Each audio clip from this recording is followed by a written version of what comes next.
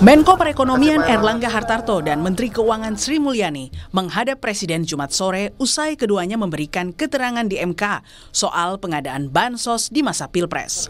Usai bertemu Presiden, Erlangga mengaku Presiden ingin melihat jalannya sidang melalui YouTube. Ya, tidak langsung. Tidak langsung. Yang penting kita melaporkan sudah hadir. Ya, respon Presiden gimana tadi Pak? Apa? Respon Presiden? Mau lihat di YouTube dulu. Belum nonton berarti apa ya? Dalam persidangan, salah satu sorotan yang digali oleh hakim, yakni seringnya Presiden Jokowi ke Jawa Tengah untuk memberikan bantuan sosial. Hakim Saldi bahkan menunjukkan frekuensi kunjungan Jokowi di provinsi itu. Ini Bu Menteri, Pak Menteri, Pak Menko, ini ada salah satu tabel yang di kedua permohonan itu sih sebetulnya ada. Yang mencantumkan list perjalanan presiden. Ini karena dua permohonan ini lebih banyak bergeraknya ke presiden ini sebetulnya.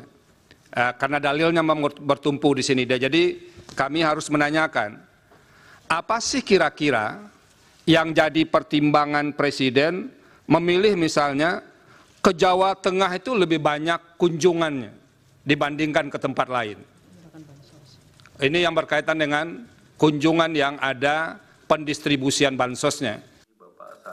Menjawab pertanyaan hakim, Menko PMK Muhajir Effendi yakin seringnya presiden ke satu daerah karena daerah itu mendapatkan proyek strategis nasional lebih banyak dari daerah lain.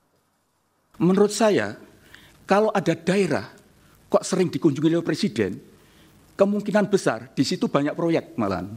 Proyek dari strategi nasional yang diberikan kepada daerah itu. Sekali lagi saya, saya sampaikan, terlalu muskil kalau hanya 100 kunjungan untuk secara simbolik membagi bansos, kemudian itu berpengaruh secara nasional, itu saya kira doesn't make sense. Mohon Bapak tidak ya. berpendapat soal itu. Tim hukum Anies Mohaimin berharap pemanggilan empat Menteri Jokowi bisa menjadi alarm agar tak terulang di Pilkada November nanti.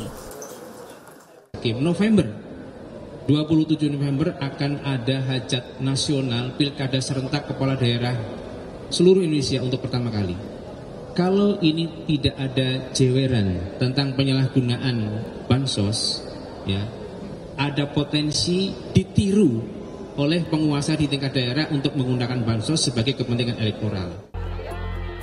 Kedua tim hukum 01 dan 03 sepakat tak ada yang menentang pembagian bansos kepada masyarakat miskin. Namun, bansos yang diduga disalahgunakan untuk kepentingan elektoral harus diaudit demi sehatnya demokrasi. Tim Liputan Kompas TV.